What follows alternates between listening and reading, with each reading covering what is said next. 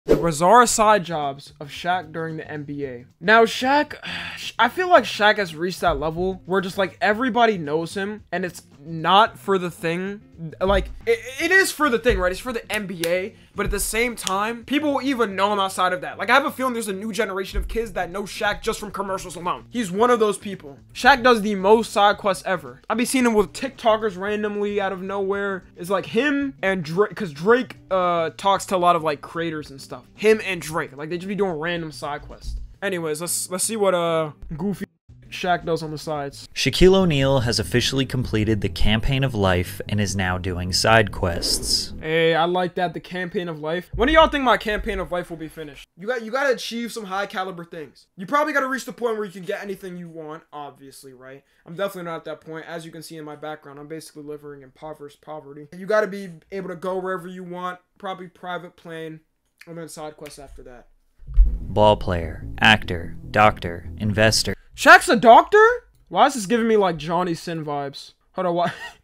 Why is he giving me like I can't look at this image the same. Ever since that Johnny Sins image, I, I'm telling y'all, I cannot look at that image of doctors the same. DJ, police officer. Shaq was Oh, I saw the DJ thing. Yeah, I saw I saw the DJ thing before. He's a big fan of side Wait, he's a police officer? He had Yo, imagine being on the run from like Shaq. It's, it's truly over at that point. I just give up. I'm putting my hands up fully. had his own video game and released four studio albums before he had a championship ring. At Louisiana State University, Shaq was a two-time All-American and a two-time SEC Player of the Year. Damn. The 7'1", 330-pound beast got drafted as the number one overall pick to the Orlando Magic in 1992, which led to an weight. amazing first season earning him Rookie of the Year. He became known for his powerful dunks that would sometimes bring down the entire backboard. This amazing height and power combination revolutionized the game and helped Shaq dominate the league. His real dominance came when he joined the Los Angeles Lakers in 1996 alongside Kobe Bryant. The two were an unstoppable force that won three consecutive two goats. NBA championships. You don't even gotta watch the NBA to know that. In that. 2000, 2001, and 2002. Then Shaq secured his fourth in 2006 with the Miami Heat. 15 NBA All-Star selections, 4 Damn. NBA championships, 3 Damn. NBA Finals MVPs, 2 Damn. NBA scoring titles, and. 1 Hall of Fame Yo, induction. slow down, slow Shaq down, man. Damn. All these accolades. and- What accolades do you guys have? Let's be real. I know. I, I, I gotta ask myself the question too. Uh, my accolades is probably uh my elementary school graduation, my middle school graduation, my high school graduation. Yeah, that's about it. I'm a loser. I'm a Tommy NFG Twitch mod. yeah, that's facts. That'll get you. That'll get you far in life. You could write that down on your resume for real. completed the main story. Now it's time to look through all of the other side jobs Shaq had outside of the NBA, starting with him becoming an orchestra conductor. Stay hydrated. Huh? During his time at the Boston Celtics, the PR team approached Shaq with the idea of conducting the Boston Pops Orchestra, a world famous orchestra founded back in 1885. This wasn't just for show either. Shaq attended a full rehearsal and learned the ropes of a professional conductor. Okay, here's my question about you, you, you, you, you, you, you, you know. Hey there, Tommy NFG here. Just a little reminder to make sure to subscribe because only about 30% of you guys watching this are actually subscribed. Also tune into the Twitch streams every once in a while. You know, we have a lot of fun there. There's a lot of fun that goes on there. So um, I'm ending it right here. Let's go back to the video. This wasn't just for show either. Wait, what does this mean? Shaq attended a full When they move their finger like this, how does that even help orchestrate? Like, it keeps tempo? Huh? Isn't that temperature? Never mind. rehearsal and learn the ropes of a professional conductor. Shaq would take the baton and lead the orchestra in three songs, with the final song being We Are the Champions by Queen, aiming to rally the fans in the audience around the team in the the coming season. Also, Shaq became the tallest conductor in the Boston Pops history. Speaking of music, Shaq has bars. Did you know Shaq released four studio albums and two compilation albums? I know about his music In career. 1992, Shaquille would make an appearance on Arsenio Hall's late night talk show, sharing the stage with his favorite rapper at the time. Oh yeah, you know, you know. Hold up, let me just mute the music. You know what they were singing right here. Hold on, let me do a reenactment of what the. What, this was. This was in the '90s, right, or '80s. The songs was something like this: Hip, hip, hip, hip, hop to the hippity hop, hop, hop, hop, hip, hip, hop your feet, hop, hop, hippity hop, hop. All right, let me stop. I'm trolling. sharing the stage with his favorite rapper at the time, Fu Schnickens. The performance caught the Bad stage name. Bad stage name. Everybody can write down right now. If you're gonna pick any name to to be a, a famous person, don't pick Fu Schnickens. Fu Schnickens. Performance caught the attention of Jive Records, who reached out to O'Neal with an impressive offer $10 million for three albums. While Shaq never intended to pursue a serious career as a rapper, he saw the opportunity as a chance to collaborate with his hip hop idols. His hmm, debut album. Shaq Diesel, quickly gained traction, reaching the 25th spot on the Billboard Hot 200 charts and selling over 1 million copies, officially making it It's platinum? Certified platinum. Damn. Shaq's music ventures also featured appearances from legendary artists like Biggie Smalls, Ice Cube, Nas, and even Michael Jackson. Now Shaq considered Man, Matt. No, now I'm jealous. Met the king of pop? artists like Biggie What am I doing with my life? Look at me. I'm reacting to a video about Shaq's accolades of him meeting Michael Jackson. Look at me. Smalls, Ice Cube, Nas, and even Michael Jackson. Now Shaq considers his rap career more of a hobby than a serious project. I wish I made $10 million from my favorite hobby. But he isn't just talented on the mic, he can also dance. Look at how flawlessly he can move that huge body. Nah, he's hitting that though. Hey. After that little break dance, we got to It's see actually really good. He's like 330 pounds full of muscle. Even like bodybuilders probably can't do that type of movement. even more of his moves at the That's why the NBA is just NBA different. All-Star Game alongside the professional dance group, the Jabbawockeez. The big Shactus himself, Shaquille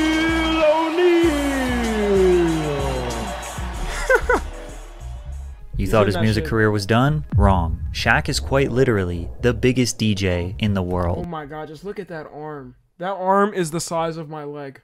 DJ Diesel is a very active bass music DJ who performs at festivals all summer. Messing around with turntables was a hobby that dates back to Diesel's teenage years. He never did any performances, only for some friends. O'Neal was introduced What type of performance is that? Diesel's teenage years. He never did any performances, only for You call this a performance? What is this? Some friends. O'Neal was introduced to Why does that dude have his underwear off? You know what? I'm not even gonna question it. I don't know what's Tomorrow. World in 2014 by his then girlfriend Letitia. I went to a concert five years ago, Tomorrow World, and I saw half a million people just jamming. And it gave mm. me something that I've been missing since I retired. It gave me that adrenaline boost. And when the beats drop, you see a half a million people doing this. Shaq wanted that adrenaline rush for Wait, is that is that the dubstep? That's the dubstep, right?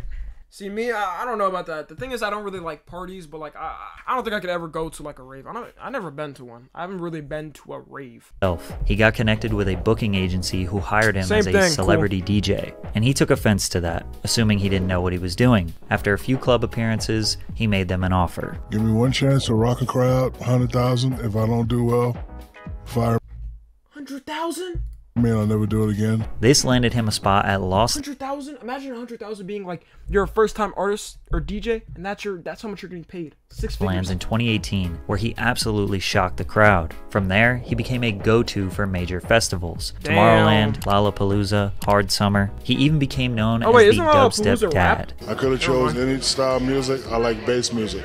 I'm seven foot, 350. I consider myself hard.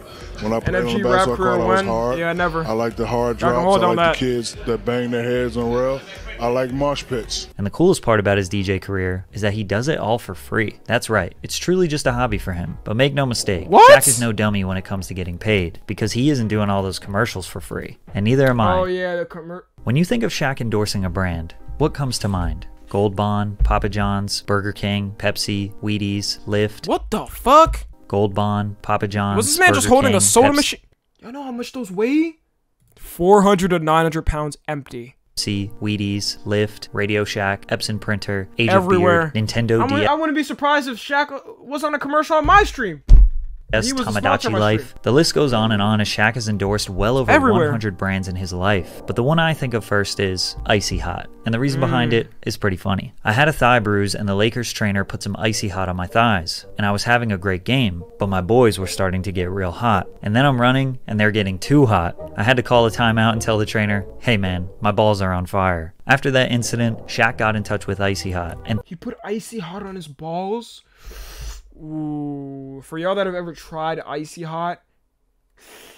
Damn. Oh, no, that's sick. Things took off from there. They worked out a sweet deal where Shaq not only starred in their commercials, but also became a part owner of the company. But that's not the first time Shaq liked a product so much he became an owner of the company. In fact, he's done this over 50 times. He's a partial owner of 155 Five Guys burger restaurants, 17 He owns Auntie Anne's pretzel Guys? restaurants, 150 car Okay, that's kind of mid. 40 24-hour fitness centers, What? a shopping center, a movie theater, and several Las Vegas Does nightclubs. My But his relationship with the General Insurance is the closest to his heart. Oh. I love the general. Hold on, what, what, what is the slogan? If you need some time and a great deal of time, call on the general and save some time. Low-key a classic commercial. Low-key. You see, back in 1989, Shaq was broke. He spent all of his money on a $1,500 used Bronco, but couldn't drive off the lot nice. until he had insurance. Actually like it. Shaq went to every major insurer. Okay, you don't need insurance to drive. Technically. I'm kidding. This is where we legally abide and follow all things at NFG, YouTube, Twitch, wherever this is I'm um streaming. For them until he came across a little building that said The General, who gave him quality insurance at an affordable price. He was a customer goat. from that day until nearly 30 The years looking later, real where he became racist a with that brand mustache. ambassador and part owner of the company. I know but what he I didn't stop am, at The General. I endorsing didn't need to hear brands. from you. He I even made his own am. Products. Ever heard of Soda Shaq? Teaming up with Arizona Beverages, Shaq would launch his own line of low calorie, all natural cream soda called Soda Shaq, releasing four flavors vanilla, blueberry, strawberry, and orange. I might have to try these on stream. Damn. Sporting a low cost as most Arizona brand drinks do, and featuring a cutout of Shaq's face, many were excited for their release, but some were critical. I sure like the some soda came in a me. 23.5 ounce can. some On Soda the Shaq, nutritional Soda facts Shaq. label, it revealed that each can has three servings, and it is sweetened with cane sugar. With 90 calories per Oh wait, no, no, uh, um, high fructose corn syrup. I might actually meant try that each can contained a total of 270 calories and packed a whopping 72 grams of sugar. Even Hmm. through all the criticism seven years after being discontinued, Soda Shaq still has many fans hoping for a return. But this wasn't even his first sugary treat. Mr. Big was the name of his 1995 candy bar. I'm sorry, but why? Why was the first thing I thought is like, what if this B was an N? This just looks The wild. standard bar is made of a layered vanilla wafer coated in caramel, Oh, that actually looks nice. Ew, what's that white stuff? Is, is that mold? Is that mold? peanuts, and rice crisps while being smothered in a chocolate coating. The bar is the length of two standard size bars, around 8 inches long, which is also the same size as Shaq's. Did you know he also made What did he say?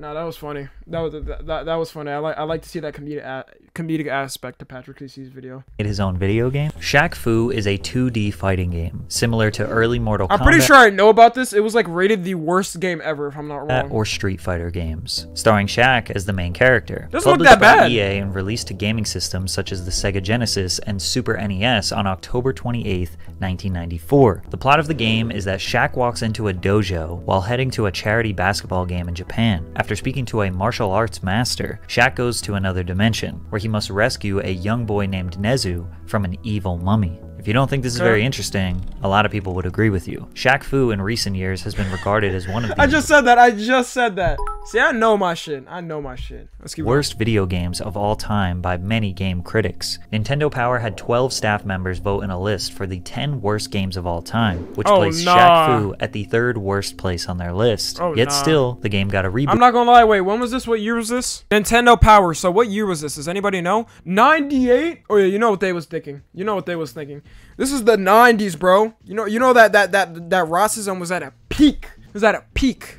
in a list They saw they saw uh, Shaq's big black archetype, and they were like, Nah, can't have this. But the same guy. No, no, no. I'm joking though. The game was trash, right? for the 10 worst games of all time, which placed Shaq Fu at the third worst place on their list. Yet still, the game got a reboot in 2018 for PlayStation 4. Shaq Wow. Fu: A Legend Reborn, which was actually received very well by the gaming community. The Play it beautiful stream? Graphics and cutscenes had us convinced that Shaq could actually beat people up in real life. Oh wait, he can. He proved that to us with multiple appearances in the ring. What? Shaq has always Why I been a never hu- seen Shaq in the fan of professional wrestling, and he's had some epic moments in the ring across different promotions. Back in 1994, he made an appearance on World Championship Wrestling, where he presented the title belt to the winner of the WCW Mm, World look at this. This was definitely the peak. The lights was gleaming. Look at the look at the photo. Look at the way it just looks. It's- I, and you know this isn't even edited because they didn't have editing back then. This is like peak. WWE. Heavyweight Championship between Hulk Hogan and Ric Flair. Then in 2009, he took on the role of guest host for WWE's Monday Night Raw, in which he would Mm. find himself himself getting into a scuffle with the legendary wrestler, The Big Show, creating a feud that lasted for almost a year, but he wasn't done there. In 2016, he surprised everyone by participating in his first legitimate match. He entered as a celebrity competitor in the Battle Royale at WrestleMania 32, eliminating Damien Sandow, and had another confrontation with Big Show before being eliminated. Okay, see, this is why I can never do this. Eliminating Damien Sandow, and had another confrontation with Big Show Look at this, like dicks to butts. What is he? Why is he bending Shaq over like that? Why does he look like that behind Shaq? Exactly why I can never do this. I, I'm I'm pretty secure in, in my masculinity, masculinity, and you know what, what what I believe in and what I like, but I can never do this, bro. before being eliminated himself. And most recently, for the promotion AEW in 2021, Shaq teamed up with Jade Cargill to take on Pause. Pause. What was that? in 2021. Okay, this is. This... Yo, really thinking about it, like the WWE was really zesty. Looking at it, I mean, the moves at least done. Like any homophobic person that watched the WWE, you can't even say you're homophobic. You watched this shit. Can't lie. Shaq teamed up with Jade Cargill to take on Cody Rhodes and Red Velvet. During the match, things got crazy when men Cody wrestling. Rhodes took him out with a flying crossbody, sending woo.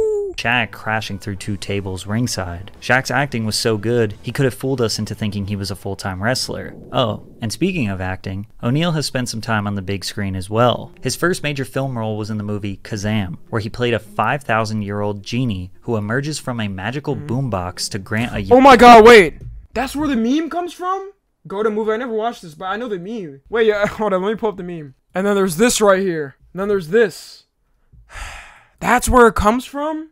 Magical boombox to grant a young boy three wishes. And honestly, the film sucked. But he still managed Huh? to pocket a cool Why'd $7 it suck? million dollars for his time. Pretty good month if you ask me. Most of his acting career beyond that wasn't really acting because he often just played himself. As you can imagine, it's hard to cast a 7-foot superhuman as just another Right. character. He had guest appearances on Curb Your Enthusiasm, My Wife and Kids, and The Parkers. He also had fun cameo roles in movies such as Freddy Got Fingered, Jack and Jill, Kids and the Parkers. He also had fun cameo roles in movies such as Freddy Got Fingered,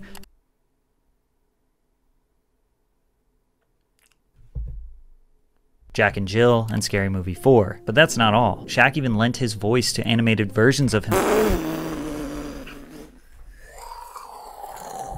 Why they do Shaq like that? Why they do Shaq like that? Why they do my, uh, why they do my brother Shaq like that? Oh jeez. And who the fuck is this supposed to be? Like Shaq just skeleton? Shaq skeleton? What is that build? This is like a One Piece build. Literally Blackbeard. Blackbeard from One Piece. Looking like Blackbeard from One Piece. himself on several occasions and taking voice acting roles in multiple animated films like the Lego Movie. But he isn't limited to just guest appearances and cameos. He also has headlined a few of his own reality TV shows. Shaq Life is still an ongoing series that provides an inside look into his family life. But the Oh, more like interesting reality ones TV. were Shaq's Big Challenge Joe and Rogan? Shaq Versus. Shaq's Big Challenge documented his efforts to help Another six severely obese middle school aged children lose weight and gain a healthy lifestyle. Yeah, no, they need to add this back into the schools now. Go ahead and cancel me. Add this in every single public school in America now.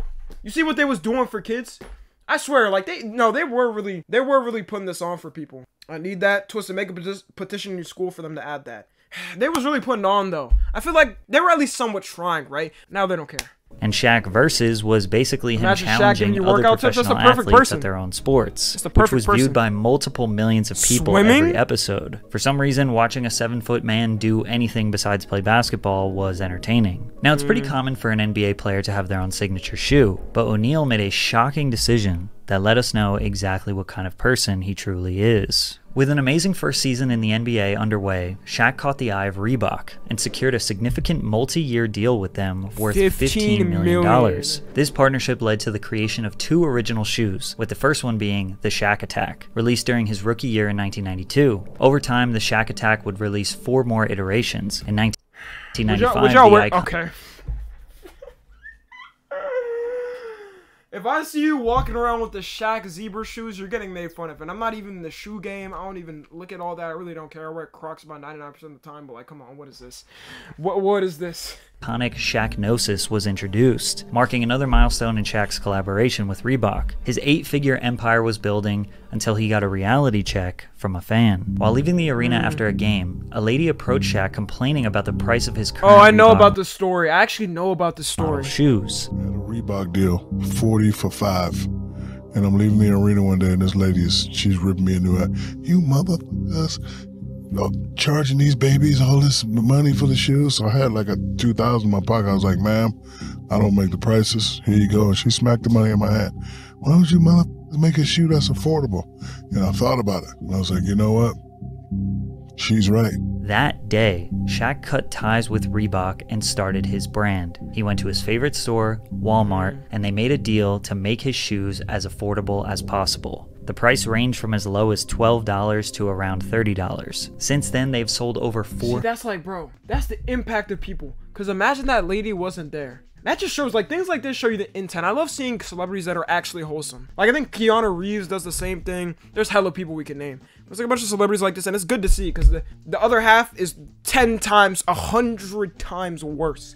Like the bad side, we always see, but like it's good to see the wholesome people. 400 million pairs. Instead of trying to create the most hype shoe to compete with Jordan, he did the opposite. Because of this, some people even tried to make fun of Shaq. And unfortunately, the kids that wore his sneakers would oftentimes get picked on as well. Yeah, I can't I can't lie. I can't lie. I remember this. Uh I don't know much about shoes, but like my brother was really into it and he told me just don't get Shaqs. He told me like don't get them. Kids were getting fucking roasted. They're like, ah, that nigga has Shaq. Like you get roasted like that. I went to a pretty fucking ghetto school, so like they will be on your ass for anything.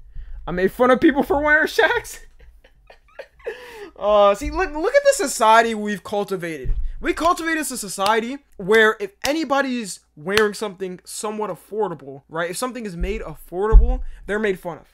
That's so sad. Well, on the basis that wear Shaq wasn't cool Nike. enough or iconic enough to compete with Jordans. But when you think about it, he did a really great thing for kids all around the world who struggled it's really financially but needed a decent pair of basketball shoes. It wasn't worth it though. I'm sorry, it wasn't worth it. You you better off going to shoes school bare feet. Better off, way better off. a ton of money. His impressive net worth of over $400 million shows that he's made all the right moves from the start. He's been a very savvy investor, buying in early to companies like Google and Apple back in the late 90s. However, his real estate portfolio is perhaps the most impressive. And no, it's not because he owns a bunch of mansions in the hills. He has taken on a number of different real estate development projects to provide affordable housing for those in need. He built the largest 80 20 mixed income project in New Jersey, which is where 20% of the apartments are considered affordable. In Colorado, he mm. was a part of a deal that purchased 1,407 subsidized Section 8 housing units with the intent to remodel and offer them for below the market rate. My goal is to eventually own $1 billion in affordable housing. He basically wants No, that's actually so. Not only is that like a really good thing to do,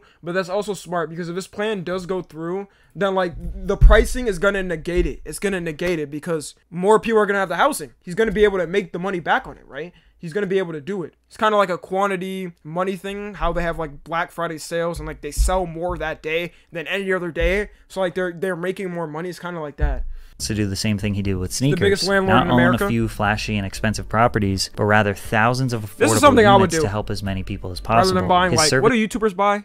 I don't know. attitude towards the community explains his strong interest in law enforcement. Did you know that Shaq is a police officer in multiple states? In 2002, Shaquille attended the Los Angeles County Sheriff's Cars, yeah, Reserve no, I'm Academy, not a- I'm not really trying to car guy. become a SWAT team member. The specific requirements for the specialized unit included the ability to scale a rope 100 feet in the air. O'Neal had completed the conditioning tests, the sit ups, the push ups, had endured the verbal assaults and Oh my god, what the hell?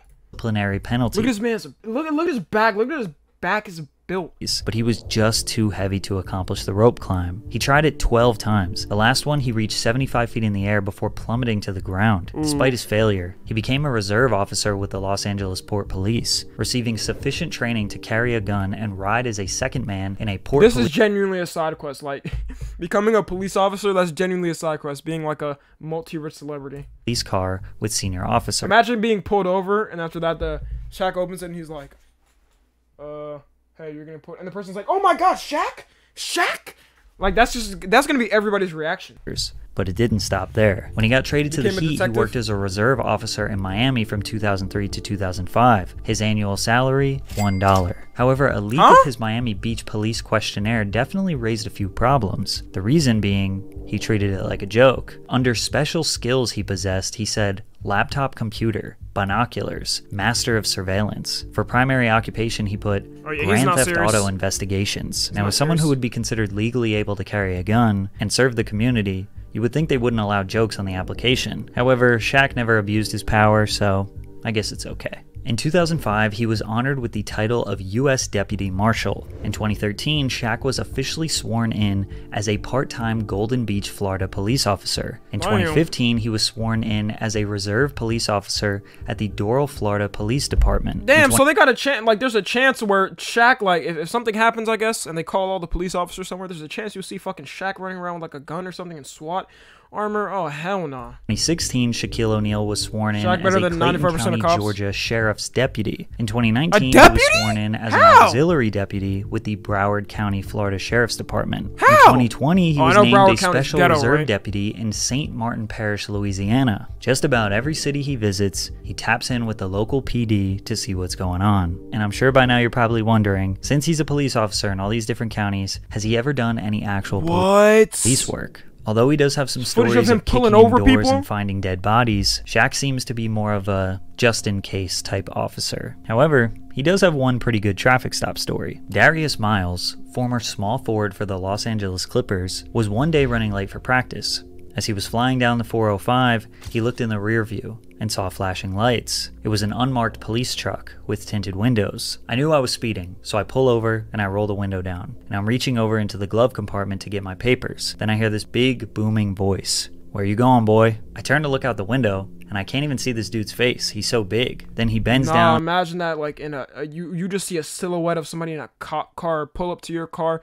They're towering over your entire car. They're like half its size. and looks in the window. Big dumbass grin on his face. It's Shaq. I'm like, yo, I'm going to practice. You made me late. He taps the side of my truck, turns around and says, Don't worry about it. I'll pay your fine. Just holler at me. Shaq's got one of those old school police lights that you put on the hood of your car like you see on cops. He gets in, laughing his ass off, waving at me. As if there wasn't anything more impressive to add to his resume, the college dropout became a doctor. Shaq made a promise to his mom that he would eventually go back and complete his bachelor's degree since he pursued his NBA dreams. True to his word, Shaq fulfilled that promise in the year 2000 and graduated with a BA. Bro, it's crazy how much, bro. It's crazy how much of an emphasis there is on um like college, for example. Cause like I swear, bro. At least coming from uh my aspect, y'all know I made a, the new video about foreign parents. Some parents are just not satisfied. You could literally be a multimillionaire actor, Shaq, whatever. If you don't have like a degree or something, they, they don't care. They literally don't care. And it's just like sad, bro. His mom was probably like begging him to get the degree, and this nigga's making like a hundred million dollars in commercials. In general studies with a minor in political studies. While this accomplishment would satisfy most, Shaq isn't like most. Just five years later, O'Neal pursued further education. He earned online a Master of hmm. Business Administration degree through A the University of? Phoenix, saying, it's just something to have on my resume for when I get back into reality. Someday I might have to put down a basketball and have a regular 9 to 5 like everybody else. All right, bro. Stop lying. Stop lying. This is low key pandering. I'm not gonna lie. I can't even say anything like this because I, I make videos, so I can't even say like I can't even say anything. I'm, I'm still offending. I'm still offended. Come on, Shaq. You know you don't. You know you're never gonna be on a nine to five. Imagine seeing, imagine seeing Shaq at like your office job in the future or something. Just sitting there like typing, typing up fucking reports and stuff. That would actually be funny though. Towards the end of his playing career, he began to work on a doctorate at Barry University, eventually completing the program and receiving a Doctor of Education degree in Human Resource Development, Damn. making him formally Dr. Shaquille O'Neal. So the big question that everybody wants to know, what will Shaq do next? Well, probably a little bit of everything. Man, Shaq got a. You know what Shaq hasn't done? Collab with Tommy NFG on a stream. And ar- aren't I right, guys? Aren't, aren't I right, guys? He, he needs to collab with Tommy NFG on a stream. He needs to collab with or a video, a regular video. That's what Shaq hasn't done. Y'all think Shaq knows me? I think Shaq knows me. Shaq probably knows me. What you guys think? Okay, it seems like it seems like you guys mostly agree, right? Okay, I'm seeing I'm seeing a lot of agrees. Lot, a lot of agreements, yeah. Shaq knows me. Superstar Tommy NFG on Twitch.